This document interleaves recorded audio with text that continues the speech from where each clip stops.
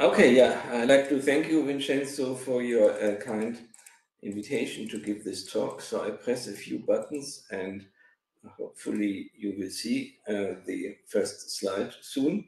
Uh, by the way, do you see the cursor here, a dot moving? So did you see now input goal? I, I don't, oh, oh yes, it's very small. It's because it's a small point, right? Yeah. Okay, I see. But, but, but uh, maybe, um, yeah, but you um, uh, can see now five or six lines on the slide. What, what sorry, what? Yes, we do. We can see here, yes. Okay. So the, the last line is finding correct definitions you can see, right? Yes. Okay, good. Okay, so um, uh, proof mining, yeah, so originated as a kind of uh, uh, modern reformulation of Kreisel's unwinding program, uh, which focused more on questions in algebra and uh, number theory. And here the focus is in analysis. So starting from my PhD thesis in 1990, um, I worked on applying proof transformations to extract a new uh, computational information from prima facie in a non-effective proofs in analysis. So the point is here you have some proof P of a conclusion C, which may use um, non-effective principles. And the goal is to extract additional information on this conclusion. So that could be quantitative information, such as explicit effective bounds, but also in recent years, uh, more and more prominent became qualitative aspects. So for example, to show that uh, the bounds do not depend on certain parameters, also to generalize proofs by omitting hypotheses which turn out to be superfluous or at least could be weakened in a substantial way, and also finding the right uh, proper notions uh, to develop new notions in analysis which originated by this uh, program.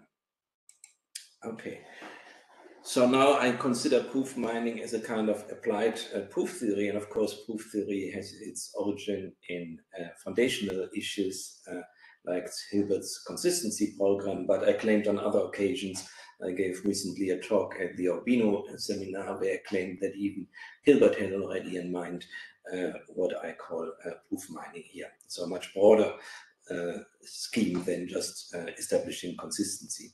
So numerous case studies have been carried out, particularly in nonlinear analysis areas such as fixed point theory, ergodic theory, non-smooth optimization, abstract Cauchy problems, and many others.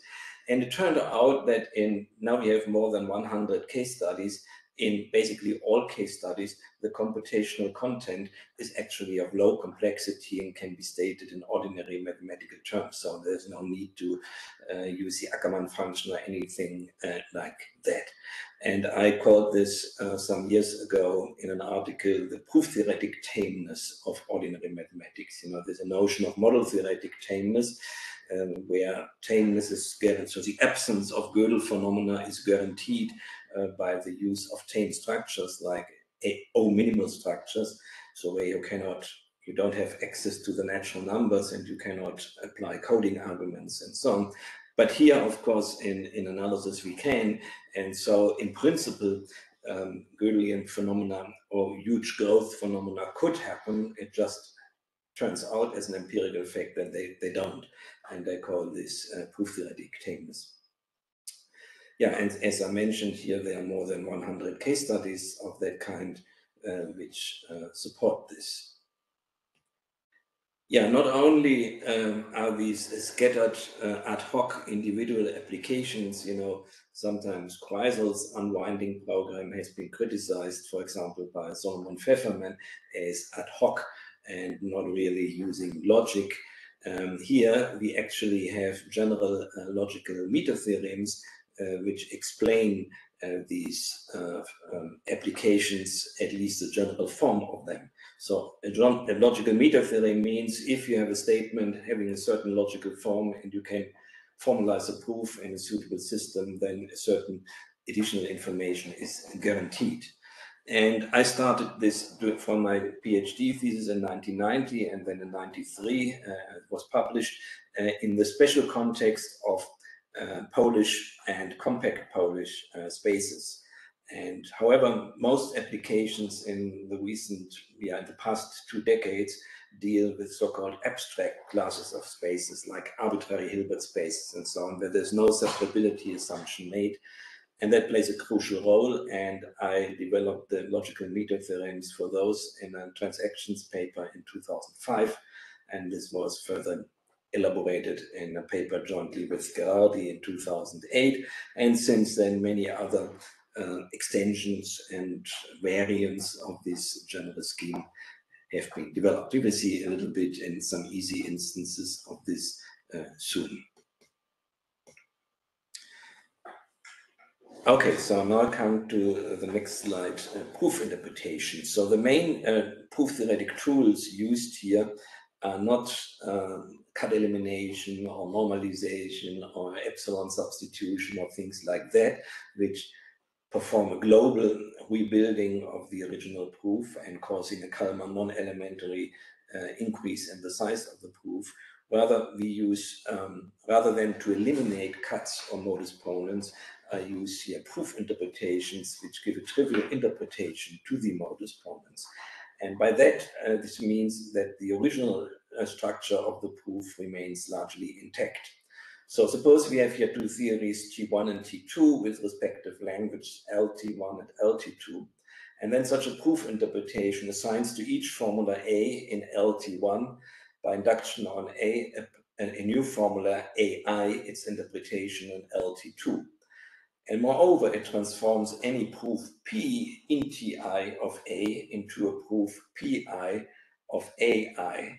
And that goes by induction on P. And the new interpreted proof Pi is not essentially longer than the original one because we keep the usual lemmata structure intact.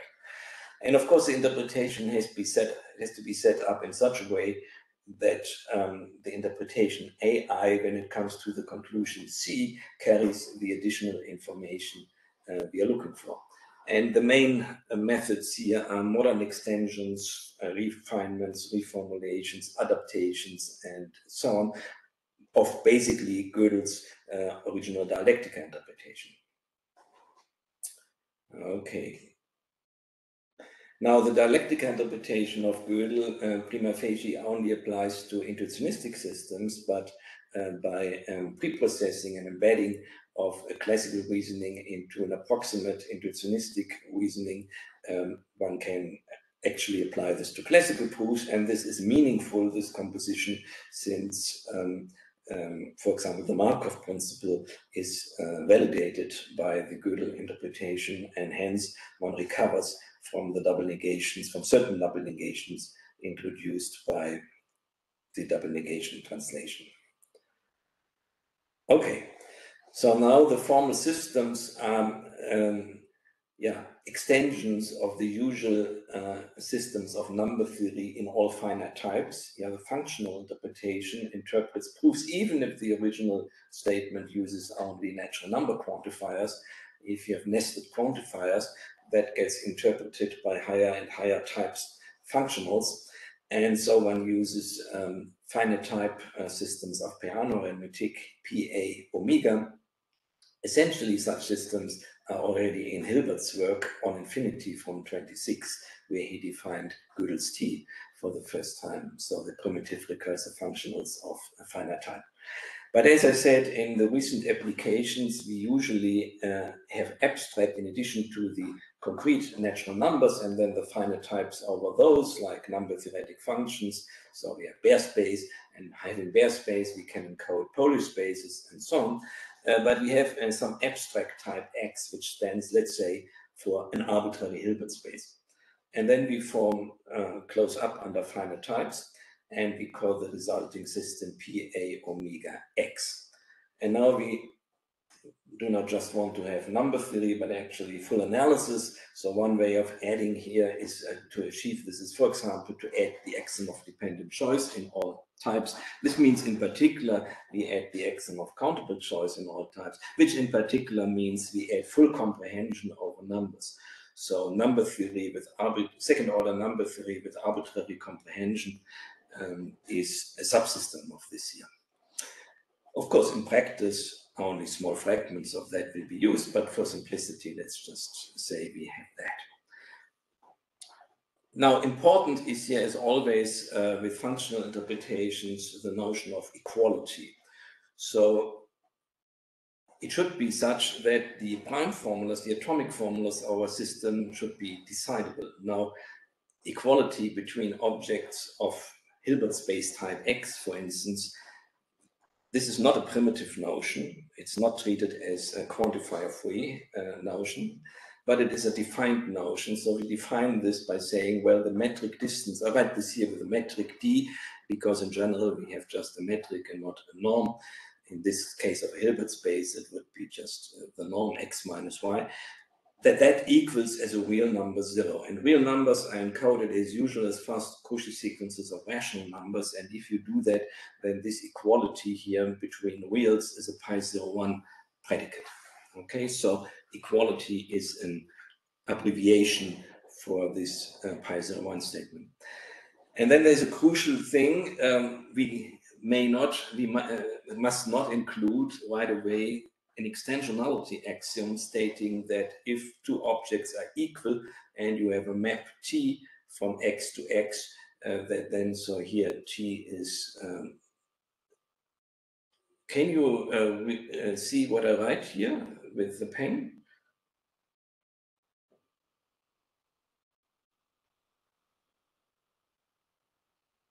Hello? Yes, now, yes, now we can see. Oh, okay.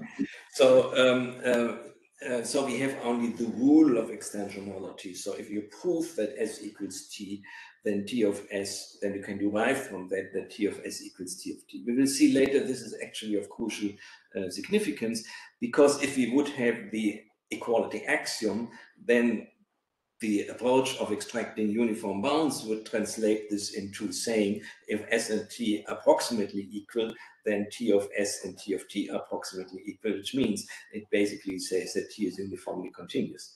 And that's actually an axiom made in the model theoretic treatment of Banach spaces in positive bounded logic or in continuous logic. It's assumed uh, that all constants are uniformly continuous. But we want to treat also discontinuous objects, and that plays an important role in applications. And for that, we have to be careful uh, with extensionality. And now um, we call the system here A uh, uh, calligraphic A omega. This would be the system of full classical analysis, A omega uh, X. Um, but now we add um, whatever we want to express about our metric structure or our abstract uh, space X, for example, that is a norm space or the uniformly convex space or Hilbert space. So that needs to be uh, stated by additional uh, axioms. Good. And then the main uh, uh, thrust of this methodology is to keep track of uniform bounds. So to in the analysis of a proof. And that is done by a notion of majorization, which in its simplest form was defined first by uh, uh, Bill Howard. And here we extend this to the abstract types. So suppose now you have a type rho in this finite type structure over the natural numbers and the abstract type x, then we define uh, eternal, yeah, we define, uh, first of all, binary relation saying an object is a measurement in a suitable sense of an object of type rho. Now, the measurement is not of type rho, but the measurement is of type uh, het rho. And het rho results uh, from rho by replacing everywhere x by n. So, for example, an object of type x, a point in our, say, norm space, is measured not by a point in the norm space, but by a natural number, namely a natural number which happens to be an upper bound for the norm of uh, y. And so in this way, the whole computation takes place on these measurements. So the measurements are natural numbers or number theoretic functions or things like that.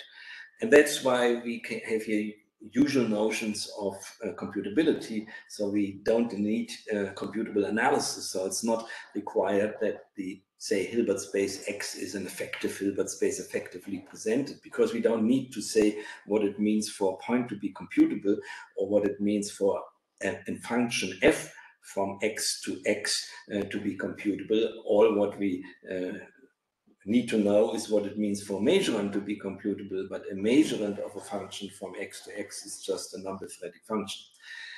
And so spelled out for the particular case of um, uh, yeah, self-mappings f from x to x, which I have stated here in the middle of the slide, which I hopefully you can see by now.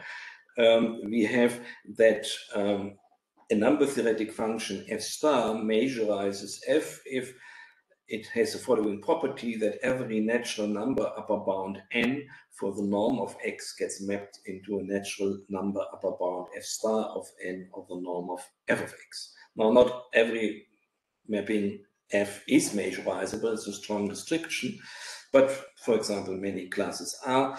A class which will be particularly significant for this talk will be the class of non-expansive functions or Lipschitz one functions f, and in this case, um, a measurement all what is needed to define a measurement is to know the norm of f at some point. So for example, zero. If you know a norm upper bound b on f of zero, then just the mapping n goes to n plus b will be a majorant of f. Okay. Yeah, and in a metric setting, uh, where we don't have um, a norm, uh, we use a ternary relation relative with a reference point. So we have a reference point in the uh, which we choose in our space, and we define majorizability as distance from that reference point. And in the norm case, the reference point is simply uh, zero. Okay, so I wait a minute before, so that you can, oops, uh, see um, this general logical metatheorem. So this is a particular simple case, um, which however explains already the first application I want to talk about. And I don't want to convolute this here by general uh, messy logical formulas. So a very special case of such a general logical metatheorem of these, which I designed in 2005 and refined with Gherardi in 2008 is as follows. Suppose now we have our formal system A omega uh, with an abstract uh, normed space. And suppose we have um, a concretely represented compact metric space K, let's say uh, the unit interval. And then we have here an arbitrary Polish space, just for simplicity, um, let that be Baire space in order to avoid to have to talk about names. So whenever we have now an for all exist statement, so we have an for all exist statement, and in this particular case, um, okay, for all exist statement where the parameters range over Baire space or some Polish space, let's say the continuous functions on 0, 1, C01, that could be such a space. And we have parameters ranging over compact space, let's say some compact rectangle, and we have two parameters having to do with our abstract space X, a point, let's say, and a self map. And let's assume just for uh, specificity that the self map is non-expansive as uh, before. And suppose now we can prove um, under these assumptions that an existential statement holds. So where we focus on this number theoretic existential quantifier here, and then the matrix may contain further existential quantifiers, but not a mixture of universal and existential quantifiers. Then what one can extract from such a proof is a computable function of phi, which only depends on this name here from the Baire space, from the Polish space, and on these majorizing data. So we have to majorize the z, and we have to majorize uh, the t. We are independent from the compact uh, space k. So uh, so we have a kind of fan rule or uniform uniformity principle. Uh, but what is more striking is that we have uniformity even with respect to this abstract space uh, X. So the only thing we need is to bound the norm of Z. So let's suppose the norm of Z is bounded by B. And as we showed on the previous slide, to majorize T, all what we need is to have a norm bound on T of zero. So that B be also a norm bound of that. So if you have a B which is bigger than both uh, the norm of Z and the norm of T0, then that's all what we need in addition to X uh, to produce our bound. Uh, and there's no separate, this only works because the proof does not make any separability assumption. If the proof would have used that X is separable, then that would have been upgraded in total boundedness and so in essentially compactness. So it's crucial to treat the abstract space X as abstract and not as separately represented, even though mostly one is interested in applying the extracted bound to separable spaces. But of course, this bound now holds for all spaces X, or in particular for separable spaces. But it's very crucial not to, uh, um, you know, uh, to keep the proof such that it doesn't use the fact that the space is separable. So similarly, if this was here the metatheorem for normed spaces, exactly the same for Hilbert spaces. Then, of course, the bound is only valid in all Hilbert spaces. It also works for uniformly convex um, Banach spaces. Then the bound additionally depends on what is called a modulus of convexity eta and so on. And in a metric setting, uh, as I said, where we need a reference point, we would, in this case, take as our reference point the point z. And if we do that, then the majorant for z is zero because z has zero distance from z. And so all what we need is then um, a bound b on this, what is called this displacement uh, of z performed by uh, t. Okay, and you know, lots of structures can be treated. I have here a long list of structures. So the structures have to have the right uniformity built in. So for example, uh, uniformly convex structures are okay. Strictly convex are not because they get immediately upgraded to uniformly convex. Uniformly smooth is okay. Uh, smooth would be immediately upgraded to uniform smooth. Separ separability yeah, would be allowed, but it would immediately be upgraded to total boundedness.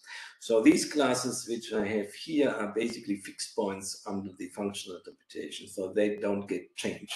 And if you're a little bit of familiar with uh, positive bounded logic and the model theory of uh, Banach spaces, then you see here some similarity. And in fact, all classes which can be axiomatized by positive bounded logic are allowed here uh, as well. And you know, you can explain this uniformity also in terms of ultra products. So these structures here are closed under ultra products and ultra roots. So, this, so for example, if you have a strictly convex space, then the ultra product is um, automatically uniformly convex. I mean, in, in the ultra product of a space is strictly convex if and only if it's uniformly convex.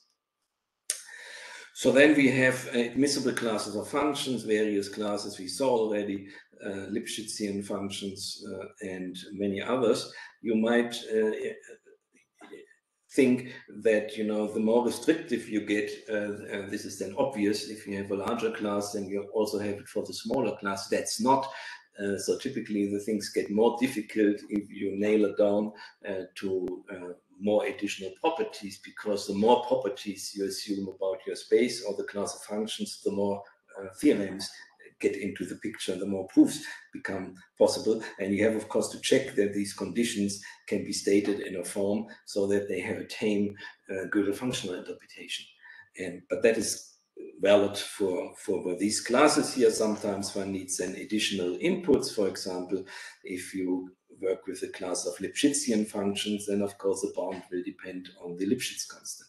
And most importantly, also discontinuous functions can be treated. And this has been recently uh, crucially used in optimization, where people use set-valued operators and um, where you, there isn't even a proper notion of continuity, or if you define it in terms of Hausdorff distance, it becomes much too restrictive. Good. So now wait at, uh, a minute, uh, uh, not a minute, but three seconds, so that you can see this slide on Bauschke. So, Raphael, do you see the slide on Bauschke? Yes, we do. Okay. Thanks. So uh, just to make this here less abstract, um, here's one of my um, one of the applications uh, which is particularly suitable for presentations because um, the problem can be explained very easily and the result extracted is very nice. So here we have an arbitrary Hilbert space and we have a finite collection of closed convex non-empty subsets C1 to Cn. And we have the corresponding metric projections onto these uh, convex sets. You know, in Hilbert space, uh, whenever you have a convex closed set and you have a point, uh, then there is a unique uh, point in this set C, uh, which has the closest distance to your given point X. And that is uh, the metric projection. And by the way, the metric projection in Hilbert space is non-expansive. This actually characterizes Hilbert space among the Banach spaces. And um, now one performs the so-called cyclic projection method. So you project to C1, then you project to C2, you project to C3 up to Cn. You take this whole package, let's call that T, and now you iterate T. And suppose uh, this is a classical problem which goes back already to von Neumann, uh, where it was basically studied for half spaces and for n being 2. Suppose you have two sets, C1 and C2. So here's C2, here's C1. And now you take a point, and now you project to C1, and now you project to C2, and now you project to C1, and now you project to C2, and now you project to C1, and now you project to C2. Whoops, uh, then you see uh, some, somehow uh, things don't change uh, much after a while. And that is precisely what the statement here says. If n is large enough and you apply this projection package one more time, basically you get the same value. So that these distances here tend to zero. So this property of a function t is called asymptotic regularity. And it was a long-standing open problem, um, the so-called zero displacement conjecture, whether in this generality this holds you know, in special cases uh, stated here, n being two, or half spaces, or um, f having a fixed point, which in particular would be the case if the intersection is non-empty, uh, then it's much easier. But here, in particular, the C1 to Cn will have an empty intersection. So this is also sometimes called an inconsistent feasibility problem. And this was finally solved by uh, Bauschke, and he used the whole arsenal of abstract uh, set-valued operator theory. So I list here these uh, principles. And on the other hand, um, the metatheorems are applicable because one can easily show that this actually decreases to zero. And if you decrease to zero, then the convergence statement is actually pi 2, yeah, because it says uh, for every k, there is an n so large so that uh, this distance here is smaller than, let's say, 2 to the minus k. You can omit the innermost quantifier from that moment on because if it's decreasing, that's automatic. So this is a for all exist statement. So therefore it is in the shape of the metatheorem. And what does the metatheorem now guarantee? Well, it says all what we need is a measurement of the data. So what are the data? The data are the starting point of this uh, iteration. So that is this point X and the measurement would be just a non-bound on that. And we need measurements for the projections. But it's but to majorize a non-expansive function, it suffices, as we discussed, to have a bound on that on the norm of that function applied to zero. But suppose now you take just any point in any point C1 and Cn in your uh, sets capital C1 and capital Cn. So suppose for any point you may choose, you have a norm bound. Then that is enough to give a norm bound for the norm of the projection to zero, because I mean the projection to zero is the element in Ci which has smallest norm. But lowercase i is an element in Ci, so it has to have a norm at least as big as this one. And if you know for some element an upper bound, uh, then that's enough. And so this is all what you need to know.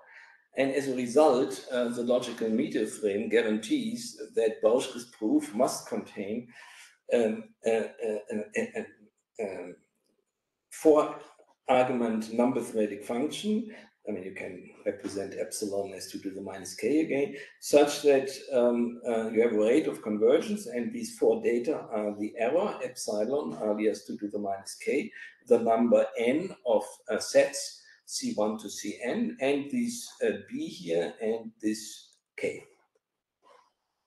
So I asked actually uh, Adrian Lewis, who was one of the people who formulated the conjecture in the first place, uh, whether the people knew anything about such a phi, and at that time nothing was known. But now using um, proof theory, and one could actually establish this phi here. And as you see, although it looks a bit convoluted, it's actually a low degree polynomial in all four data. So it's polynomial in all four data, epsilon, n, b, and k. That's very explicit. So this is what I refer to as uh, proof theoretic tameness. So despite of the fact that one uses here abstract theorems which are closely related to um, lemma, like Minty's maximal extension theorem, yeah, an operator, every monotone operator has a maximal monotone um, extension, and an operator is maximal monotone if and only if identity plus that operator has full range. Uh, this is crucially used in the proof, but you know the proof theoretic analysis gives a very low complexity uh, result. And that was, uh, I uh, generalized this already to a much larger class of mappings, not just projections, but so-called firmly non-expansive mappings, of which projections are special case. And later, Bauschke and collaborators generalized their result to an even larger class of mapping, so-called averaged maps. And Andrei Sipos generalized my analysis to that and gave a quantitative version. And most recently, Andrei Sipos proved a new qualitative result, um, namely for so-called super strongly non-expansive maps by generalizing his treatment of averaged mappings. So here there wasn't even the, the qualitative convergence result known. So the qualitative convergence result is a corollary to the extension of the mind quantitative result for averaged mappings together with the theory of super strongly non-expansive mappings, which recently have been uh, developed by uh, people in Bauschke's uh, school, like uh, Moursi and in particular. So this is already here. Here you have a qualitatively new result, uh, which uh, uh, came out of this. So I want to say a few things about how this works. So the, the proof has of, of, of um, Bauschke has two major pillars. One is the theory of so-called strongly non-expansive maps, and the other one is this aforementioned abstract um, maximal monotone operator theory with Minty and so on. Now let's first talk about the strongly non-expansive map. Now a map is called strongly non-expansive if for any sequences x1 and y, uh, xn and yn, this implication here holds. Now, if you look at this from a logical point of view, it means pi 3 implies pi 3. But actually, this can be stated uh, in uh, for all exist for all form. And if you do, then you have this, uh, what is written here in this remark. And the proper quantitative version of that is to say we have a modulus delta depending on d and epsilon satisfying here this statement. Now, if you invent, invent such a notion like a modulus of being strongly non-expansive, there are two desiderata. First of all, it has to be strong enough uh, and sufficient for your quantitative analysis. And secondly, you must be able to actually produce in all cases of interest. But it's guaranteed that you are able to produce in all cases of instances, because if you just take the, if you could prove this in a theory which admits a metatheorem, then you can in particular, of course, prove uh, the, the non-uniform version. So where I just swap the quantifiers here,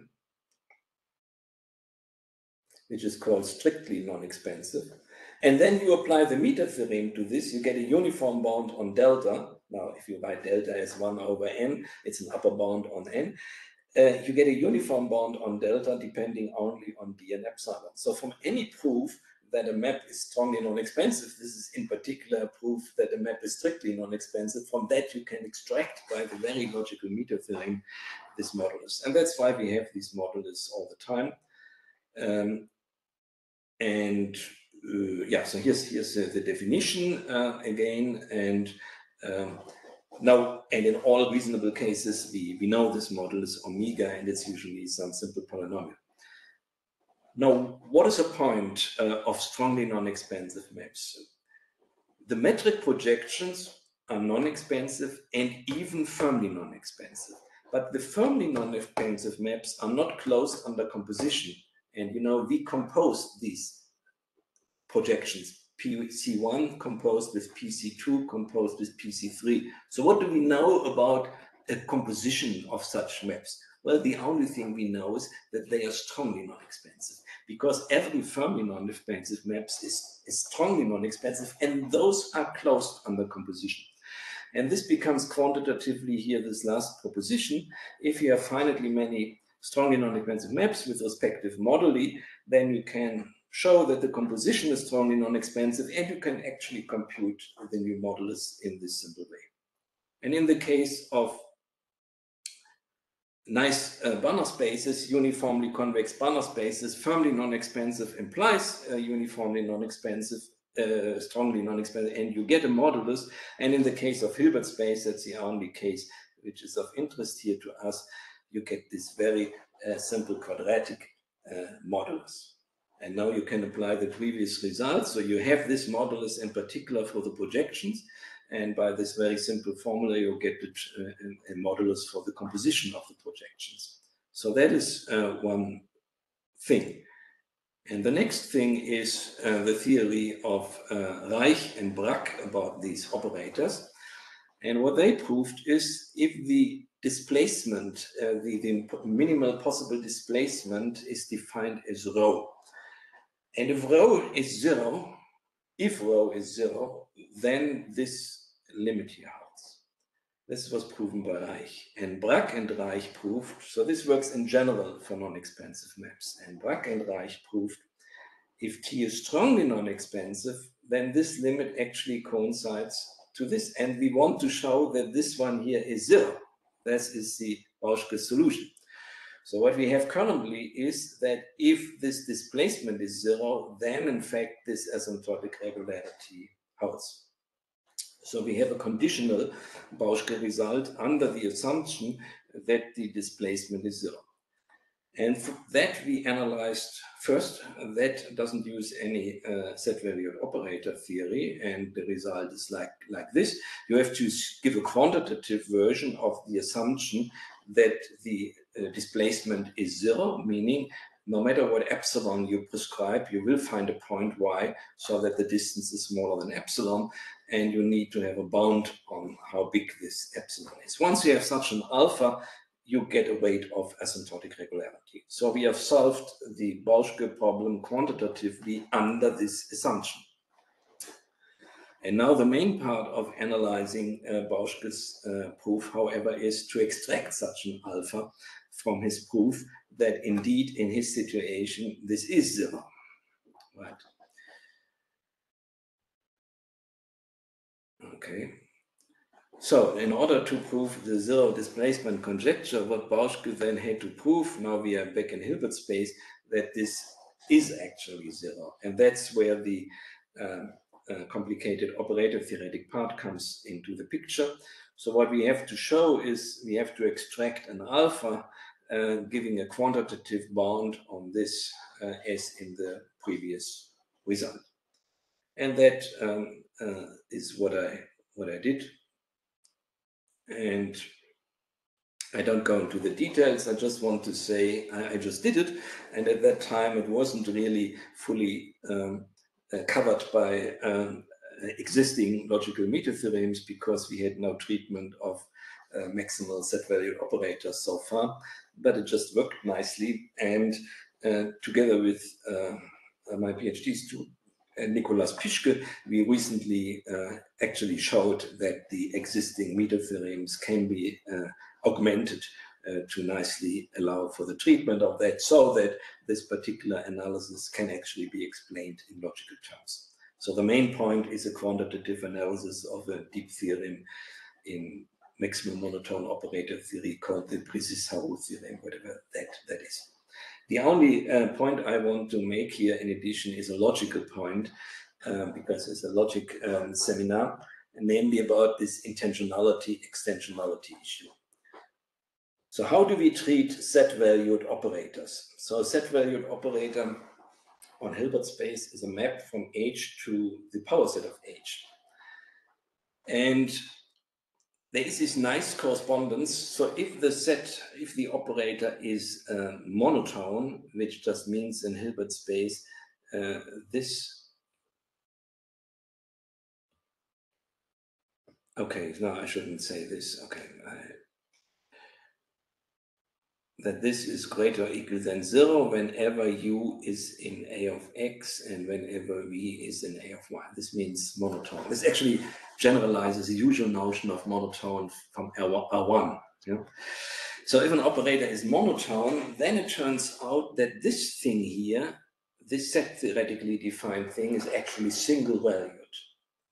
And if the operator is maximal monotone, which means it hasn't any, the graph hasn't any proper extension, which is still monotone, then it's actually defined on all of H. And that's where the maximality comes into the picture. So if we have a maximal monotone operator, then there is a correspondence between the set valued operator and a very, which is a very ugly object, and the very nice uh, resolvent which is single valued and it's non-expansive. And the connection, now this operator, the set valued operator, the only way to treat logically is via its graph. So we have a characteristic function for the for the graph. And that of course, uh, oops, the characteristic function for the graph, yeah. And um, so this means here that this characteristic function applied to z and zero equals um, zero. So we have here the characteristic function for A, and in this case, it would mean that this graph here equals as a natural number zero. So this is a quantifier-free statement. Now, the crucial connection between the operator and the resolvent is that any zero of the operator, meaning any point z, such that zero is in the image of z, is actually a fixed point of the resolvent and conversely. Now, this statement here, recall that equality between objects in a normed space is a defined notion. This is actually pi 0, 1. So this is pi 0, 0. This is quantifier free. This is pi 0, 1. And of course, we cannot state a result identifying the, the, the, the, uh, the, the, the, two, because then we could ask uh, how much of this universal quantifier do we need to establish this? And of course, there is no bounding information available. I mean, this is a kind of comprehension axiom. So how do we treat this? Is it after all wrong to treat the operator intensionally via its characteristic function? Note why I'm saying intensionally, because we don't have the extensionality axiom, so we cannot prove uh, that if, let's say, a u equals v and z equals uh, z tilde, and if u is in a of z, that then also V is in A of Z tilde. This we cannot prove. But this is crucially needed to prove uh, this result here. So what do we say now instead of this? Well, um, thinking about um, the direction uh, from, uh, let, let's see, yeah, so we replace this thing here by saying there is a point x which is close to zero and there is a point z tilde which is uh, which is equal to zero, and there's a point z tilde which is equal to z, and x equals is element in a of z tilde. So in other words, we make this thing here extensional by uh, uh, going to this reformulation. So now uh, we weaken therefore the right hand side. So instead of saying if zero is in, I'm sorry, we weaken if we go from right to uh, left, we weaken the conclusion rather than saying if z is a fixed point, then saying then zero is um, uh, then z is a zero. We just say this about zero. But the crucial thing is that the converse still holds. So from this fact, we can in fact conclude from this assumption that z is a fixed point. So the proper reformulation of plus is actually um, this statement that um, okay that um, yeah that uh, um, this year that this is equivalent to uh, the resolvent uh, z being a fixed point of the resolvent. Now, how is this proven? Well, the one direction to establish actually here from, let's remove this, to establish here uh, the direction from right to left goes as follows. What you can prove without extensionality is this thing, that the distance between z and the resolvent of z is an element of a of not a of z, but a of ji of z. Suppose now that z is a fixed point. So then this is zero, and then this is z. And now if you assume that a is extensional, this means that zero is an element in a of z. That's how this works. Yeah. But uh, if you avoid extensionality, what you get is you still have a point, namely this one, which is equal to zero, which is in not a of z, but is in ea of something, namely j of z, which is equal to z. And that's precisely what we have here in, in this slide. And you know, in this way, you can move back and forth between the intensional world of the operator and the extensional world of the non-expansive map. The map is non-expansive, so as Lipschitz continues, so they have extensionality is a consequence. Here you don't have extensionality, but you can move from the world of, of operators, uh, of um, uh, resolvents to the world of operators, perform arguments there, and later in, in, in kind of um, how to say, um, transform back the result into statements about fixed points of the uh, resolvent. By the way, why are people so much interested in optimization about zeros? Because if you have a so-called lower semi-continuous function from x to x augmented by uh, plus infinity, and you take as a to be the subdifferential of f, that is a maximum monotone operator. And a z is a zero of a if and only if it's a minimizer of f. And since optimization is about finding minimizers, basically optimization translates into finding zeros of such operators. And by plus here, uh, what is now going on? Here, by plus here, um, the question of zeros of operators translates into fixed points of the resolvent. Okay, so that was so much about this thing. Now I want to talk about a different algorithm in optimization, uh, which is the so-called Tikhonov regularization method, which in this particular general form, so it was originally studied by uh, a well-known optimization person, Radu Boț, and it was generalized uh, by uh, Cheval and uh, Leuștean, and they call this a Tikhonov-Mann iteration, and it's of interest for various reasons. Many papers have been written about versions of that algorithm. The most important thing is that whereas usually algorithms only converge weakly in, in non-compact situations, this converges strongly and it converges to a fixed point of t and even a fixed point having special properties and blah. Moreover, this makes sense not only in convex subsets of norm spaces, but even in a large class of geodesic spaces. Okay. Now, why I'm talking about this? Because proof mining was recently used. I cut this a bit uh, short, um, this debate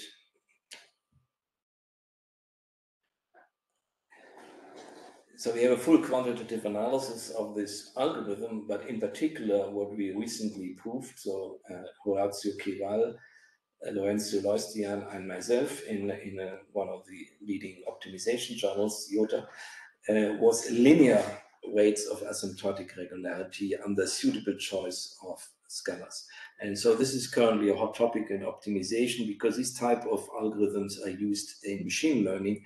And, you know, it was a, uh, came as a surprise when for the most simple form of that, the so-called Halpern iteration, the first um, linear bound was obtained in uh, 2017.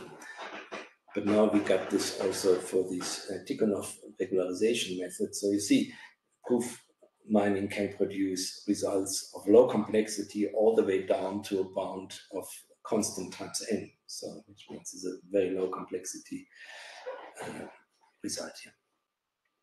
Okay, so now I'm running out of time. I just want to very briefly uh, come to the final uh, topic, some problem in uh, game theory. namely the classical, it's a problem of pursuit evasion games or cop robber games uh, or classical terminology, the lion and the man game.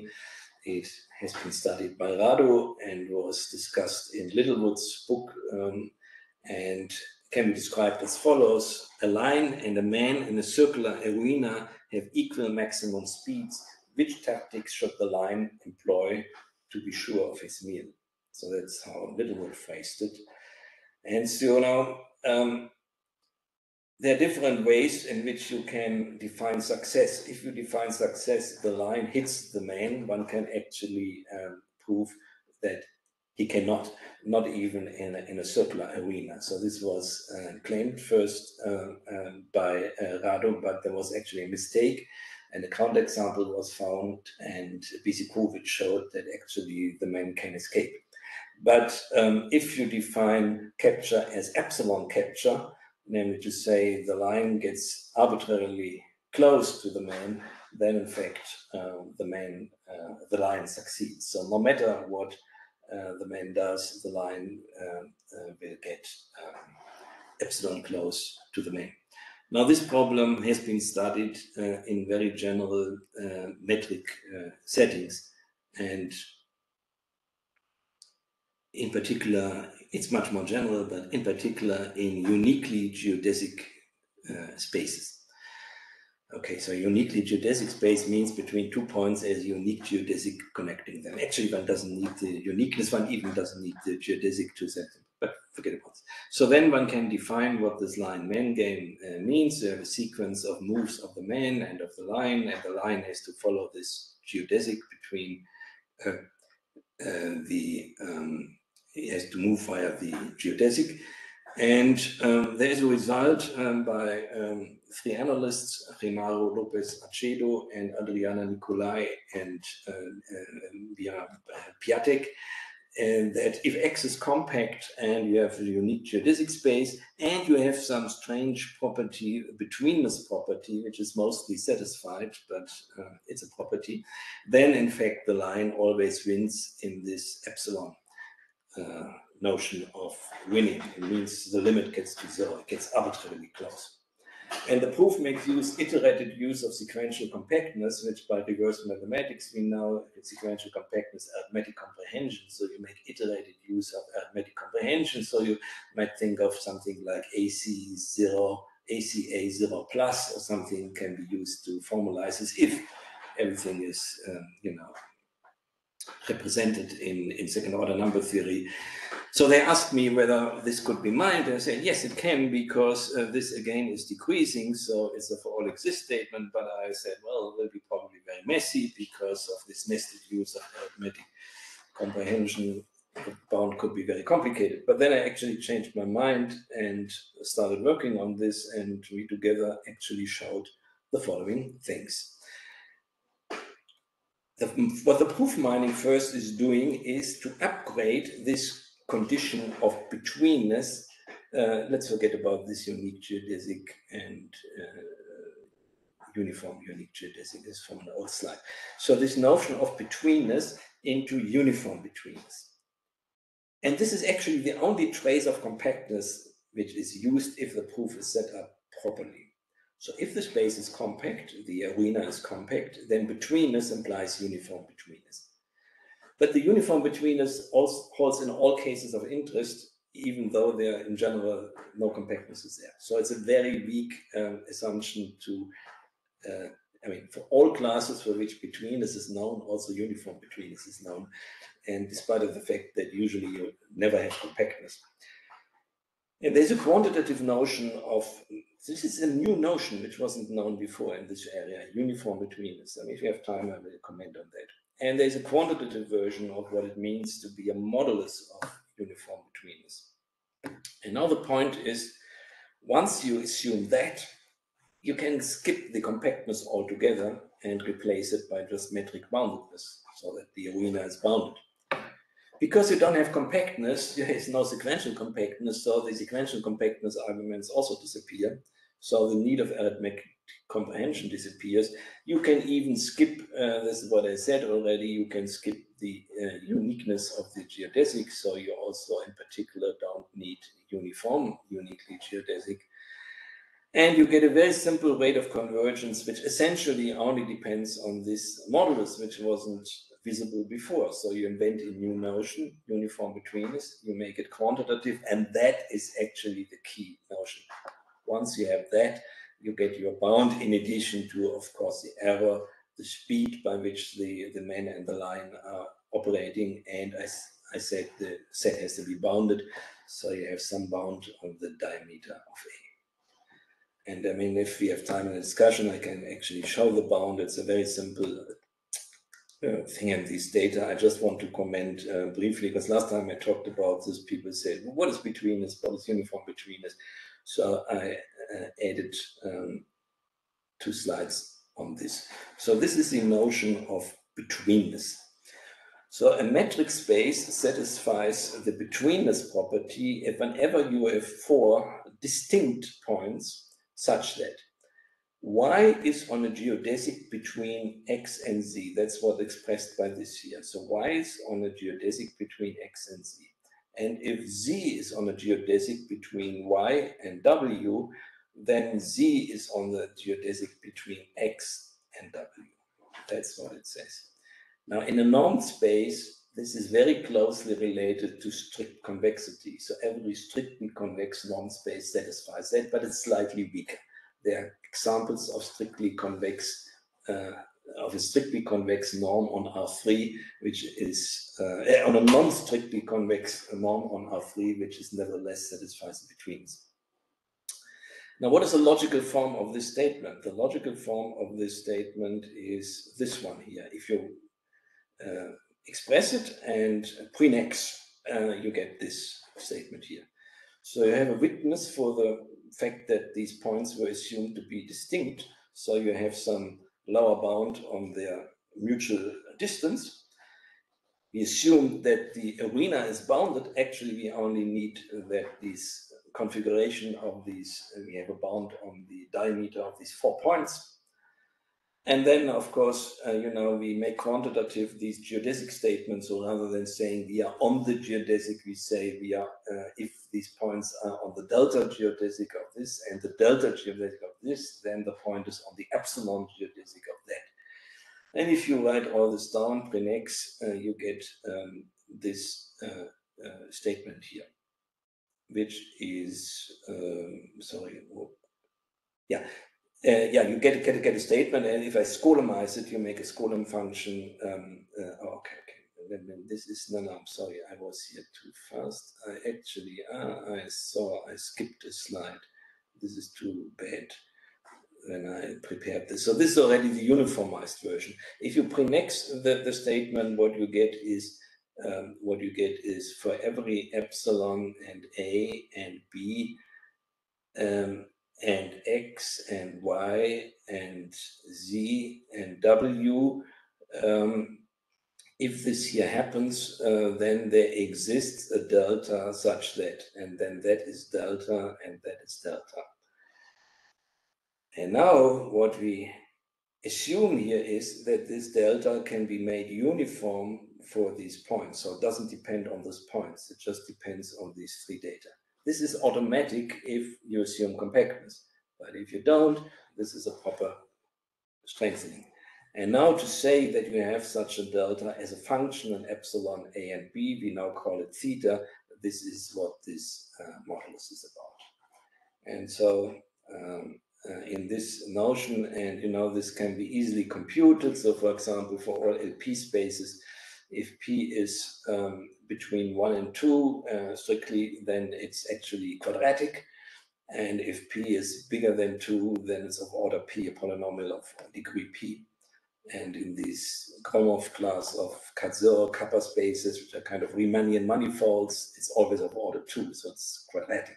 So you see, this is a typical thing. You get a very low complexity uh, theta, and in that, uh, this kind. So it can be logically explained that theta is sufficient. It can be explained why in these cases you can extract theta, that is in particular an application of proof mining, and you can combine both and get a full concrete result for all the classes of interest. Okay, so I'm now finished. I just want to, the final uh, uh, slides is about um, to indicate to you how um, how active this research is. So I just list here those papers which either appeared in 2023 or were posted in 2023. So the paper was appeared in December 2022, it's not included. So just to uh, see already here you have uh, three slides. So these papers here, um, uh, the first two papers, uh, actually in some sense the first, yeah, the first three papers are on these Tikhonov regularization methods. And here, this is particularly interesting. Here was also a new qualitative result obtained uh, by proof mining by generalizing a result from Hilbert space to CAT(0), which is an important uh, metric generalization. And it wasn't even qualitatively known to hold in the spaces. And this is a paper to appear in the number one journal in optimization, SIAM Journal on Optimization. There's never been a proof mining paper in a SIAM Journal before, but now, now it is. Um, I did some other work on accretive operators with the student Findling. Then there is this Royal Society paper about accretive operators with Nicolas Pischke. So this is more on the logical side. All these papers are concrete uh, proof mining applications. Um, then um, again on this um, uh, Tikhonov uh, thing, uh, an application, again, it's a very good optimization journal. Then on the logical side, um, recently Andrei Sipoş together with uh, developed logical metatheorems for tracial von Neumann algebras. So that appeared in Mathematical Logic Quarterly. Pinto and Pischke, uh, Pinto is a postdoc of mine and Pischke a PhD student. They apply proof mining to important problems and uh, properties of Cauchy problems. This is one of the sources. You know, if you go from Hilbert space to Banach spaces, then the a proper generalization of being monotone is accretive, and accretive operators describe Cauchy problems, and so that's the, the connection. Then Pischke had developed a logical framework for accretive and uh, operators using these intensional relations. This is uh, uh, just appeared in the Journal of Mathematical Logic. And here's another application of his approach in the Journal of Convex Analysis. Here's another application of Pischke to an important optimization algorithm. Here's some application that's more in the spirit of Kreisel by Thomas Powell to uh, Tauberian uh, uh, theorem. So it's more about, you know, yeah, analytic number theory, one might say. There's another paper by on accretive operators, and uh, here this paper which I mentioned on super strongly non-expansive maps. Uh, and there are two surveys if you want to learn more about this. This is written here for logicians, but it's not completely brand new. Uh, here is a bit more newer versions, my ICM paper, which is written for general uh, mathematical audience. Thank you.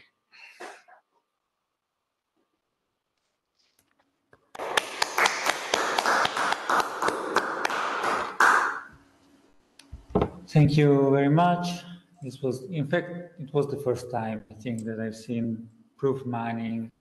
I find interested in the way the way it works, the way one can prove mathematics stuff while looking at this analysis. So, are there any questions?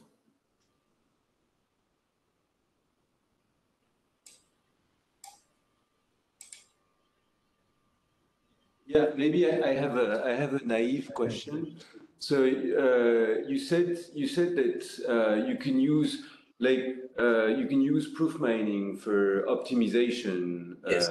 in in optimization. Yes. Uh, it it seems it seems very natural to use it in optimization. Do you do you know of any other um, application in nature, something that uh, applying proof mining to get a, result that does not depend on uh, that, that's not optimization result. It's, it's like yeah. I mean, one thing is this lion man game. This has by itself nothing to do with optimization. It's more like a, a, a yeah, a game theoretic uh, thing which plays role in robotics, yeah, because you can give many variants of this lion man game. You have several lions and several men, and so you can actually describe this as a robot trying to avoid an obstacle because it's the same problem if you say whether the robot hits the obstacle or can avoid it is, as is basically an equivalent formulation of the lion man game and so there are lots of papers in robotics uh, about this so that's a different area uh, then I mentioned uh, this work on abstract Cauchy problems. Uh, you know, this um, uh, this is actually where people then go to general Banach spaces. There you have a generalized notion of being monotone, which is called accretive. It's a bit more messy to state. And many problems, even the famous Navier-Stokes equation, uh, can be written as uh, given by um, uh, an accretive operator.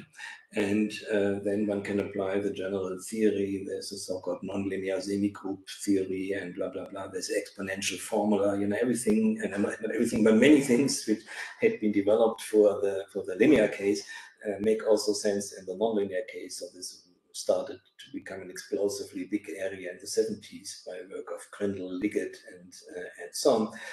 And the French school, uh, in particular Brezis and uh, and many people uh, worked on this. Um, and it's still a very active uh, area, and we now have many uh, applications there. I have two papers with uh, Koutsoukou Angeliki, a PhD student, now, uh, former PhD student of mine, and now um, Pinto and Pischke have several very uh, strong results on, on PDEs uh, using this.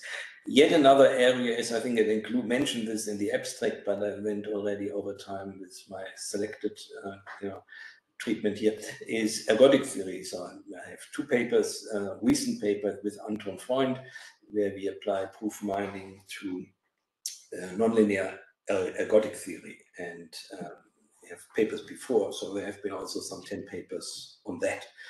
Actually, the first applications of proof mining I did uh, 30 years ago were in approximation theory, best Chebyshev, best L1 approximation.